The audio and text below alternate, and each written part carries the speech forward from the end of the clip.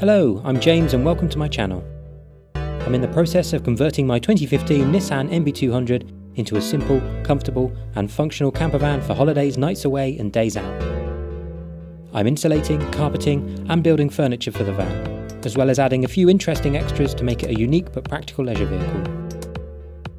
I'm focusing on doing the conversion to a budget whilst keeping things easily removable and making it looking as good as I possibly can.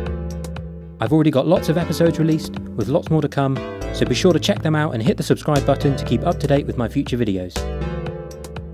Thanks for watching.